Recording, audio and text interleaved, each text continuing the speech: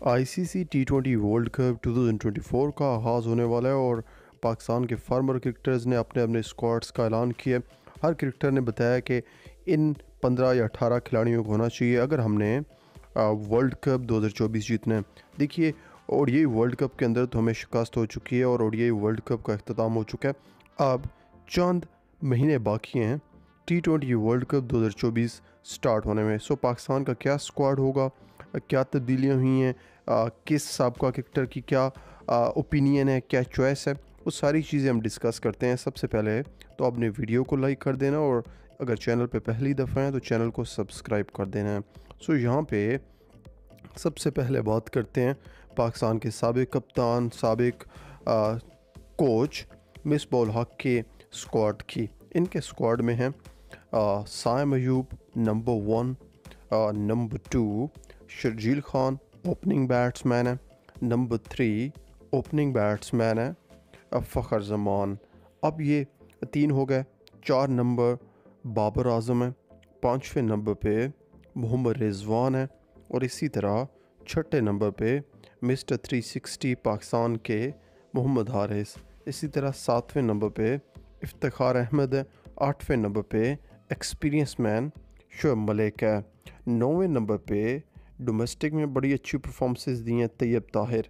اسی طرح دسویں نمبر پہ اماد وسیم ہے سو گیارہویں نمبر پہ آل راؤنڈر شداب خان ہے بارہویں نمبر پہ، ٹی ٹوینٹی اسپیشلسٹ ہیں، زمان خان۔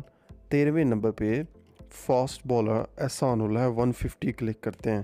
اسی طرح چودھویں نمبر پہ ابرار احمد ہیں، پندرہویں نمبر پہ نسیم شاہ پاکستان کے مین بالر ہیں۔ سولہویں نمبر پہ شاہین شاہ فریدی ہیں۔ ستارویں نمبر پہ فاسٹ بالر حارث روف ہیں۔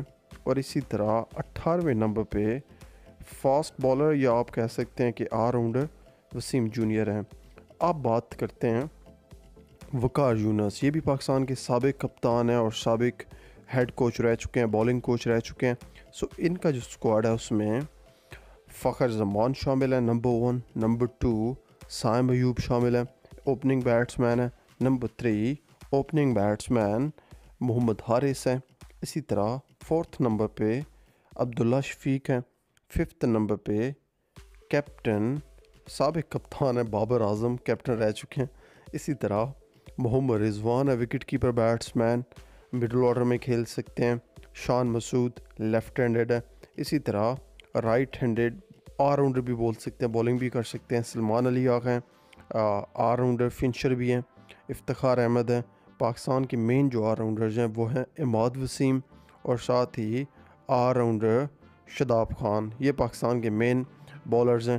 ساتھ ساتھ فاسٹ بالرز کی لسٹ میں وسیم جونیئر ہے. ساتھ ہی فاسٹ بالر، حارث روف ہیں۔ فاسٹ بالر، اب انہیں پیس تھوڑی سی جنریٹ کرنی پڑے گی۔ بہت کم پیس ہوتی جا رہی ہے۔ شاہین شافریدی ہیں۔ اور لیگ اسپنر عثمان قادر کو ایڈ کرنا چاہتے ہیں۔ یہ ساتھ ہی پاکستان کے فاسٹ بالر احسان اللہ اور فاسٹ بالر نسیم شاہ جو مین پاکستان کی ویپن ہے اور ٹی ٹوینٹی اسپیشلسٹ ہیں زمان خان۔ تو، سو اب بات کرتے ہیں۔ پنڈی ایکسپریس، شعیب اختر کن کھلاڑیوں کو شامل کرنا چاہتے ہیں اور ان کی جو اسکواڈ ہے اس میں کیا تبدیلیاں ہیں؟ کیونکہ ان کی ایک اپنی اوپینین ہے۔ یہ ڈفرینٹ اوپینین رکھتے ہیں، باقیوں سے مختلف ہیں اور ان کا اسکواڈ بھی مختلف ہے اور انہوں نے کافی تبدیلیاں کی ہیں اپنے اسکواڈ کے اندر۔ جس کے اندر اوپننگ بیٹس مین ہیں محمد حارث اور ساتھ Saim Ayub left handed right handed left hand combination ہے اسی طرح فخر زمان ہے تیسرے نمبر پہ۔ چوتھے نمبر پہ یہاں پہ محمد رضوان ہے وکٹ کیپر بیٹس مین پانچویں نمبر پہ یہاں پہ بابر اعظم ہے، چھٹے نمبر پہ پاکستان کے ڈومیسٹک کے بڑے اچھے پرفارمر ہیں، طیب طاہر، ساتویں نمبر پہ سلمان علی آغا بالنگ بھی کر لیتے ہیں، آٹھویں نمبر پہ شداب خان ہیں آل راؤنڈر ہیں ٹی ٹوینٹیز کے اچھے سٹیٹس ہیں ان کے، نویں نمبر پہ افتخار احمد ہارڈ ہیٹر بھی ہیں، دسویں نمبر پہ آل راؤنڈر اماد وسیم اچھے آل راؤنڈر ہیں۔ اسی طرح گیارہویں نمبر پہ fast bowler Naseem Shah main weapon ہے پاکستان کے لیے۔ اسی طرح وسیم جونیئر ہے پاکستان کے فاسٹ بالر نیو بال سے اسپیشلسٹ ہیں شاہین شافریدی اس کے علاوہ فاسٹ بالر حارث روف ہیں اور پاکستان ڈیپتھ کے اسپیشلسٹ ہیں زمان خان۔ اس کے علاوہ سپنرز کی بات کی جائے تو اسپیشلسٹ ہیں ابرار احمد۔ اور انہوں نے محمد عامر کو as a experience fast bowler add کیا ہے۔ سو اب بات کرتے ہیں کہ پاکستانی ٹیم کے سابق کپتان ہیں، سابق پی سی بی چیئرمین رہے ہیں یعنی رمیز راجہ۔ رمیز راجہ کافی ینگ سائڈ چاہتے ہیں کہ ینگسٹرز ہی ہونے چاہیے، زیادہ ایکسپیرینس پلیئر شامل نہیں ہونی چاہیے۔ ان کی ایک اپنی اوپینین ہے اور ان کی ڈفرینٹ اوپینین ہے۔ ان کی اوپینین میں جو اوپننگ بیٹس مین ہے وہ سائم ایوب اور ساتھ ہی mister three sixty Muhammad Haris ان کو اوپن کرنا چاہیے۔ اسی طرح حیدر علی ان کے اسپیشلسٹ ہیں یعنی کافی پسند کرتے ہیں حیدر علی کو، رمیز راجہ سپورٹ کرتے ہیں ان کو، عبداللہ شفیق کو کافی زیادہ سپورٹ کرتے ہیں۔ اسی طرح پانچویں نمبر پہ ہیں فخر زمان، اسی طرح چھٹے نمبر پہ wicket keeper batsman Muhammad Rizwan ہیں۔ ساتویں نمبر پہ one of the best fielder ہے پاکستان کے، طیب طاہر فیلڈنگ بھی بڑی زبردست کرتے ہیں، اچھے بیٹس مین بھی ہیں۔ اسی طرح آٹھویں نمبر پہ بابر اعظم ہے نویں نمبر پہ یہاں پہ افتخار احمد ہے بولنگ بھی کر لیتے ہیں ہارڈ ہٹنگ بھی کر لیتے ہیں۔ دسویں نمبر پہ شداب خان ہے ایز اے آل راؤنڈر اور گیارہویں نمبر پہ آل راؤنڈر اماد وسیم ہے۔ سو یہ آل راؤنڈرس کی لسٹ تھی، کافی بیٹنگ کر لیتے ہیں، وسیم جونیئر بھی ریورس سوئنگ بھی کرنا چاہتے ہیں۔ اسی طرح فاسٹ بالر حارث روف ہیں۔ دیکھیے، ان کو چینج کیا جا سکتا ہے، ضروری نہیں ہے کہ سارے میچز آپ نے کھلانے ہیں۔ نسیم شاہ پاکستان کے مین کھلاڑی ہیں مین بالر ہیں یہ۔